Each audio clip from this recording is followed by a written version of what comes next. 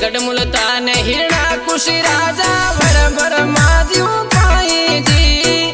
दुष्ट हिरणा कुश कुबद कमाई राम जी को नाम छिपाई जी। उन नगरी में आप पधारिया, भगतन तारण ताई जी। सीधे सर है पति आपके शिव जी। को